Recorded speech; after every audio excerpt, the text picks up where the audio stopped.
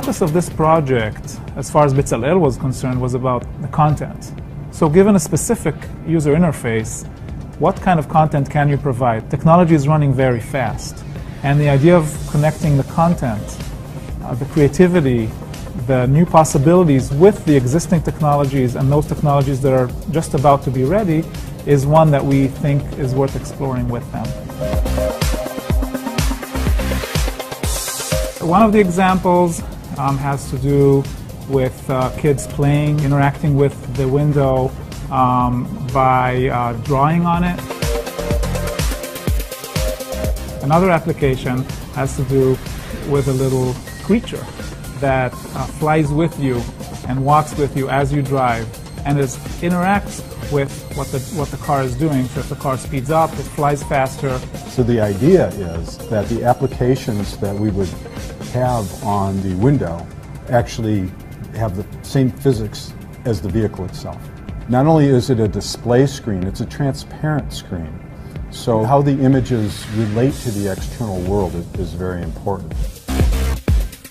The enabling technology for these apps are all of the technologies that are used for augmented reality, in particular transparent displays, and understanding where the location of the vehicle is in space, GPS.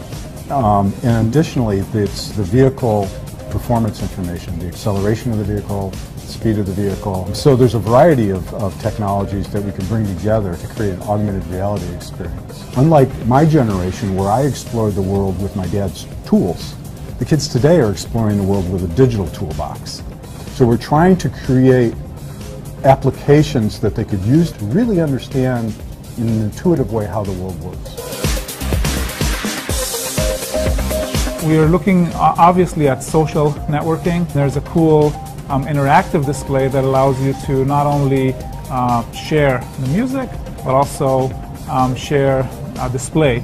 So it's almost like a virtual bumper sticker. I think it is very important to, for GM to work with uh, designers, with uh, scholars that are that come outside of the automotive industry. But once in a while, you get that one idea that you didn't think of, and you think it is worth pursuing, and that's exactly what we're after. This is one example of our attempt to really reinvent the passenger experience. There is a variety of other projects that are coming together that'll make the passenger experience much more pleasurable than it is today.